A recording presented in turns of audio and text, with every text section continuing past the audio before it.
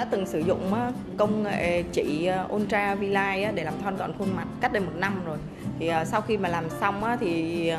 tôi nhận thấy được cái sự thay đổi đầu tiên là da mặt của mình thì nó đẹp hơn,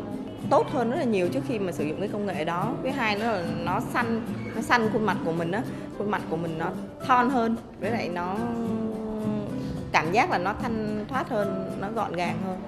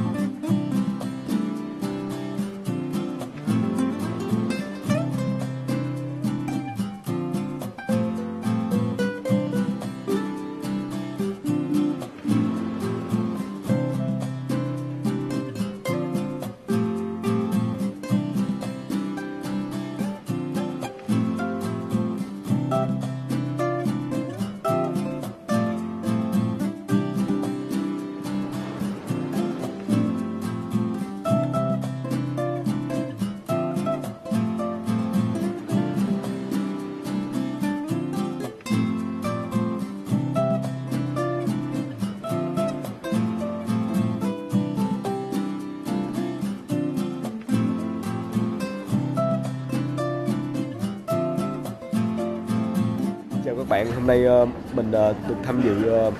Hội nghị giao tham mỹ quốc tế lần 4 được tổ chức bởi công ty Cuộc sống tươi đẹp và được gặp gỡ các giáo sư bác sĩ từ Hàn Quốc qua thuyết trình. Những cái vấn đề mà chuyên môn mình rất là tâm đắc và mình học hỏi rất là nhiều đặc biệt trong kỹ thuật dùng chỉ hay là kỹ thuật hút mỡ và sử dụng cho việc gia tăng các cái mô. Rất là khó xử lý và kể cả giải quyết những cái vấn đề biến chứng rất là hân hạnh được uh, là khách mời quý vị hôm nay là cảm ơn chân thành tới Dr. Won và chị Nhi